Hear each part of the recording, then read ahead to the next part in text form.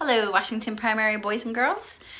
I am Jessica Taylor. I am your PTA president, and I am Dante Valentine's mama. Today, I will read you Jimi.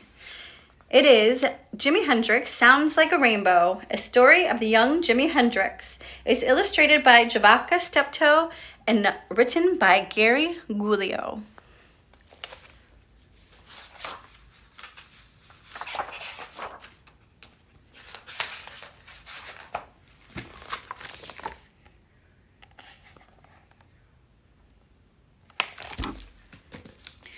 Seattle, Washington, 1956. Electricity ripped through the air. A lightning flash lit up the room. Thunder rocked the house. Jimmy's hand jumped, and a rainbow of colored pencils went tumbling to the floor. Outside, rain began trickling off the roof and plinking into the metal gutter. Drops bounced onto the windowsill. A breeze ripped the glass chimes on the floor. For a moment, Jimmy thought he heard a woman's name being blown in the wind. Jimmy grabbed his one string ukulele. He could play only simple tunes, but now he had a new idea. He pulled the string and let it snap back, tapping gently with his fingers up and down on the neck to get just the right notes over and over until he could play the sound of raindrops, singing as they fell.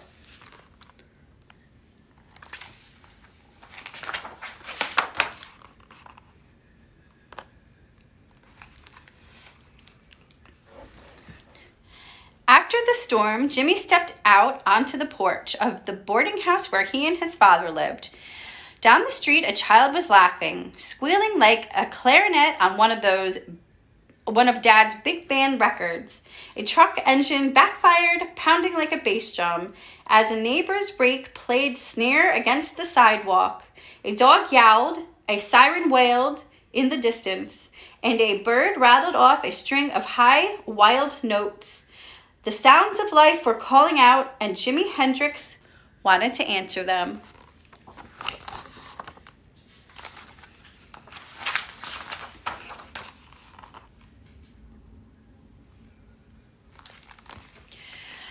Terry and Potato Chip waved from across the street. They loved Jimmy's drawings, the funny stories he told, and the way he could imitate guitars and trumpets with his mouth and hands.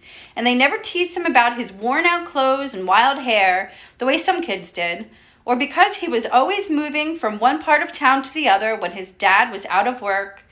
They were the three musketeers, best friends for life. Down at the record store, the boys checked out the top 10 hits each week. Crazy about music, they would chatter for hours about the latest rock and roll songs. Elvis Presley, Chuck Berry, B.B. King. The airwaves were sizzling with excitement, new sounds and rhythms.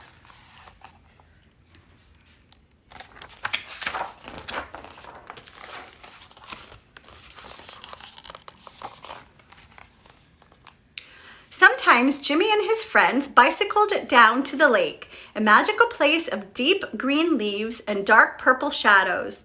They'd throw rocks into the water, listening to them plop and gurgle as they sank. All around, there were birds singing, bees buzzing, and breezes whistling through the trees. Above the clouds, airplane engines droned and whirled. With every sound, a color glowed in Jimmy's mind. Blue was the whoosh of the cool water splashing over rocks. Orange and red, the clacking of a campfire. Green, the rustle of a thousand leaves.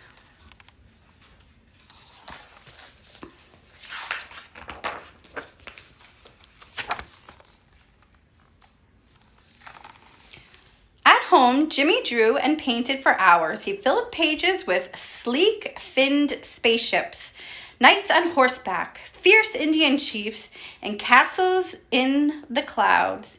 A teacher even let him cover the blackboard once with chalk drawings of Mexico in bold, blazing yellows, purples, and reds. Jimmy's imagination was on fire, and a tune was always playing in his head. At night, he listened to Dad croon along with gospel, jazz, or blues records on the old phonograph. A song by Muddy Waters, with its wailing guitar and harmonica set off fireworks in his mind. He wondered could a person use music like chalks and colored pencils? Could someone paint pictures with sound?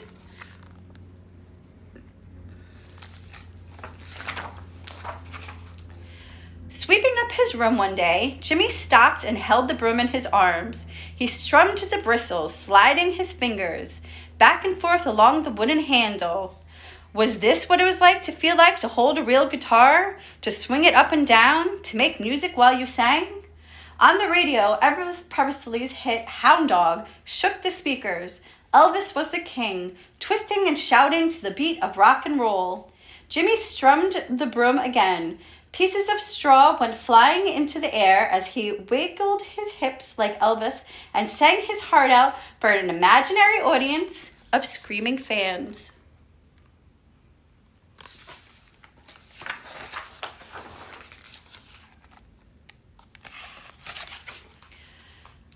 Sitting on the porch one night, Jimmy watched as the landlady's son cradled a worn wooden guitar in his lap and began to sing. The man's voice was dark and smooth like velvet.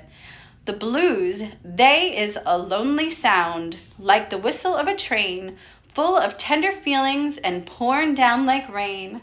Notes spun from the strings, flickering in the air like fireflies. Jimmy's eyes shone. He could feel the music tingling in his fingertips. When the landlady's son offered to sell his guitar for five dollars, Jimmy begged Daddy to buy it.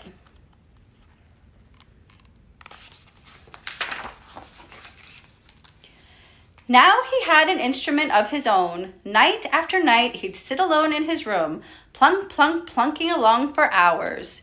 On a small transistor radio, Jimmy tuned in his favorite songs and learned them note for note. From Dad's old blues records, he soaked up the gritty sounds of guitar masters, Lightnin' Hopkins and Howlin' Wolf.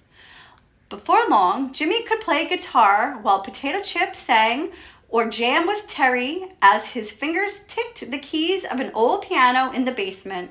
Every note and every chord was like a new color for Jimmy. He had a rainbow of sounds at his fingertip and he wanted to paint the world with them.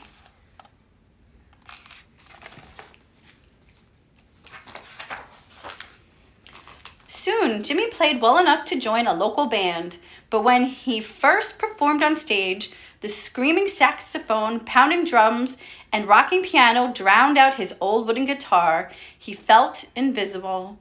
He wanted to be heard. He needed a louder guitar, an electric guitar. Money was tight, but Dad could see what music meant to his son. It may have been the cheapest model, but to Jimmy, his new white Supro Ozark guitar was pure gold. And now he could plug into an amplifier, turn up the volume, and hold his own in the band. With the flick of a switch, Jimmy's life was electrified.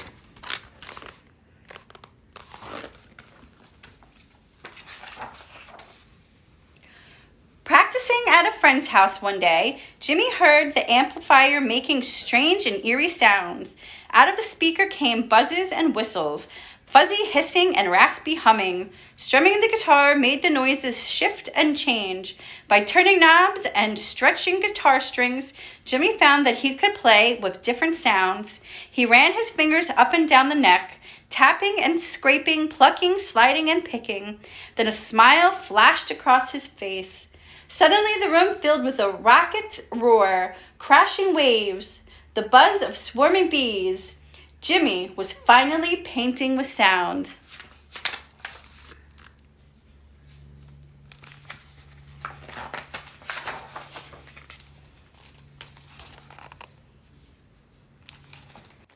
His playing became bold as lightning, wild as the waves, free as the wind, through the trees. Dressed in the colors of the rainbow, he played for audiences far and wide, joining fiery sounds with tender feelings and paintings the words with his songs.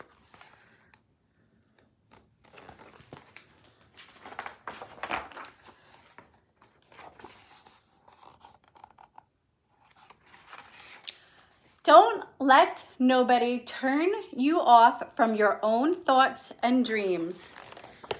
Jimi Hendrix.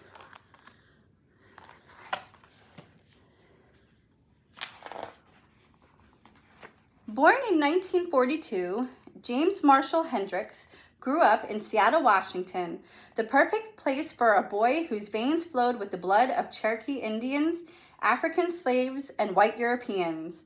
People of all colors lived in the Rainbow City then, and Jimmy learned lessons of tolerance that there that led to a universal quality of his music later on. At 18, Jimmy joined the Army's 101st Airborne Division and became a paratrooper.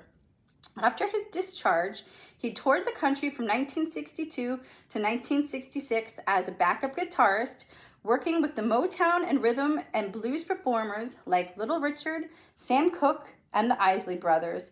He even met his two musical heroes, Muddy Waters and B.B. King. In the fall of 1966, music manager Chas Chandler took Jimi to England. There, he changed the spelling of his name and formed the Jimi Hendrix Experience, Touring Europe with his new band, Jimmy created a sensation.